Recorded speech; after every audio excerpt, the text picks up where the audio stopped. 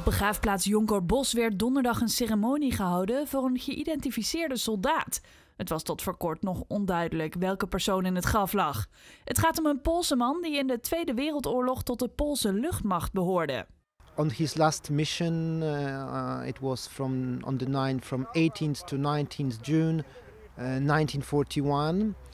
After uh, he was uh, after bombarding Bremen, on the way back, somewhere uh, on the Dutch sky, uh, he was uh, captured by a German plane who shot it.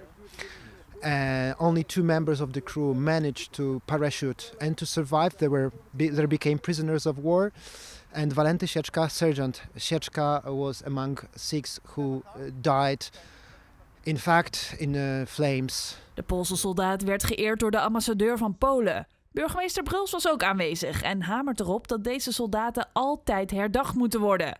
Nog steeds zijn sommige graven niet geïdentificeerd en dat kost veel geduld. So first of all, uh, sometimes the people are found uh, in the sea or in the sea bottom. Sometimes uh, we know already that there are crew members, but we cannot identify. Sometimes we have whole uh, remaining bodies, sometimes only part of them.